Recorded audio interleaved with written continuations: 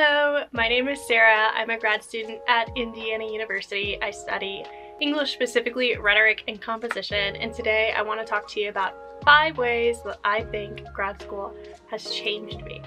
So I previously made a video about five things that I think um, you should know before starting grad school or that I wish I knew before starting grad school. Um, so today I want to talk about five ways that have changed. So let's hop into it. So first, I have become much more caught up in a productivity mindset. So with undergrad, I had a lot of work to do. Um, I had a lot of books to read, essays to write, club meetings to go to, friends to hang out with. Um, but I always felt like I could go to bed at night having everything checked off of my to-do list. In grad school, however, that is just not the case.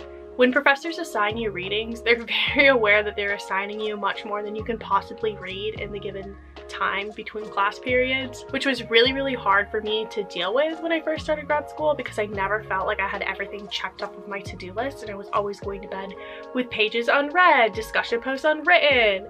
Um, there was always just more to do and I knew I would have to wake up the very next day and just get right after it and do more and more and more. But it is still really hard when I go to bed at night um, and I have to really talk myself out of like measuring my worth in the amount of stuff that I've accomplished, whether that's pages read or words written, um, to know that I'm doing the best that I can and there's only 24 hours in a day. The second way that I think grad school has changed me is that I am more willing to take risks um, and specifically to risk failing.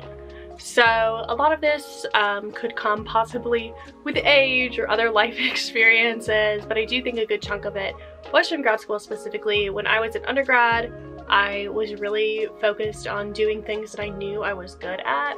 I was scared to take classes outside of my major because I didn't want them to hurt my GPA, because I didn't want to feel like I was bad at them. I was sort of scared to pick up new hobbies because I didn't like doing things I wasn't good at. It made me feel really bad about myself.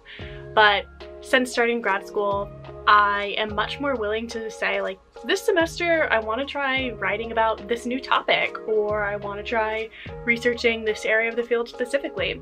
Um, and I think that's what grad school is all about, is about taking this opportunity to explore what's out there and to really find what interests you. And you will fail. You will be bad at some things and you will not like some things, but that sort of just comes with the territory. And it is a risk that has really, really big payoff because a lot of the things that I'm interested in now, I wouldn't know that they were ever like passions of mine if I had never allowed myself the space to take that risk in the first place. The third thing sort of goes hand in hand with this in that it's um, I am getting more comfortable at being uncomfortable, specifically in my like initial reactions to things, um, specifically in regards to like reading texts that I don't always immediately agree with. So in undergrad, whenever I read texts that were really like foreign to me, so different in terms of political beliefs or different in terms of the sort of places and personal experiences that they were coming from. I think they really scared me a lot and I didn't know what to do with this discomfort. So my immediate reaction was just to sort of like reject them and to say, this isn't true, this isn't valuable, I don't really need this. Um, and I think that's the way that a lot of students are. Um, and that's one school, that, that's one way that college, especially grad school, has really opened up my mind um, and it's really prompted me to sort of do some introspection, some reflection, even some outward thinking of like, why do I feel the way that I feel about this? Why am I scared of feeling that way? Um, what personal stakes do I have in these issues? And I think that this is so, so, so important for learning about social issues, whether that's gender, sexuality, race, to position yourself to be open to hearing things that are different to you and that make you a little bit uncomfortable um, or a lot uncomfortable and that that's how growth happens. And that's definitely one thing that grad school has very much helped me out with. The fourth thing is really, really ironic, but I've thought about it constantly for the last year, and that is that grad school has changed me because I feel like a worse writer. So I did my undergrad degree in English and I minored in linguistics, so I was writing papers all the time, and I also studied Spanish, so I was also writing papers for Spanish. Um, and by the end of undergrad, I didn't feel like I was a super writer, but I was proud of the papers that I was producing. I was able to put a lot of time and energy and thought into them and I was like, yeah, this makes sense. I feel like I'm communicating my ideas clearly.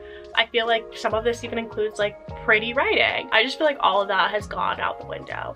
And I don't know if it's because I'm under like much tighter time constraints like I was talking about there's not enough time in the day to complete everything or if it's because you sort of have to get worse before you get better and maybe I'm like in that transition period from like really taking my writing skills to the next level. I'm not sure, but I really, really do feel like a worse writer. I am less proud of the things that I produce. I feel like they're more rushed. I feel like they're not communicated as clearly. I feel like the thought in them is definitely deeper, but I don't know, maybe that's also contributing to why I feel like my writing is just worse. Hopefully this is something that I come out the other side of when I am done with my um, PhD program because I'm only at the halfway point now. So the fifth and final way that I feel like I have changed since starting grad school is that I am so, so much more aware of my positionality and identity in the world, specifically in regards to my gender and my age. So I always thought of English as a really like feminine discipline and I think sort of it is a feminine discipline. We sort of associate like writing and storytelling with women and sort of like numbers and quantitative data with like masculine traditions and men. So I was if I if my undergrad classes had 40 students in them, which was pretty average for UF, I feel like um, there would maybe be like four or five men in the classes and the rest were all women. So I was never like that aware of it. I was sort of like, yeah, I'm a girl. This is what I do. I study writing and reading. Um, but when I got to grad school, that was it's just not the case. It was much more um, diverse in terms of gender and especially in terms of faculty. A lot of my professors and TAs that I had in my English classes uh, in undergrad were women and that it was very much just not the case um, in grad school. And I realized that even if I was surrounded by women on a daily basis, sort of like systemic patriarchal forces exist. Um, and I just felt like every day I was becoming even more aware of what it means to sort of like occupy a female body um, in both big and small ways. And the second thing in terms of age, I was not expecting to be um, one of the youngest ones in my program. So I went straight from undergrad right into grad school. I got my BA in May and I graduated and then it went straight into Joint's MA PhD program that August. So I really had just one summer gap. And when I started the program, there were already some folks in the program who had their masters, so of course they were just going to be a little bit older. Um, but there were also quite a few people who had jobs or took time off before even starting grad school. And I was just not anticipating that.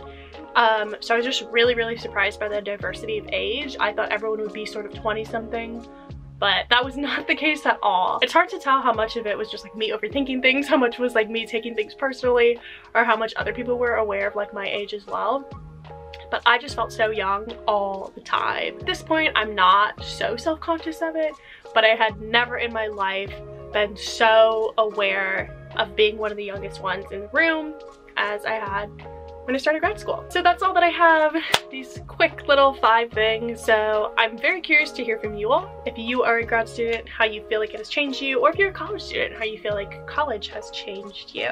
So feel free to leave me a comment. I would love to start a conversation with you in the comment section below this video. Um, and please, please, please, if this was useful for you, entertaining, give it a thumbs up.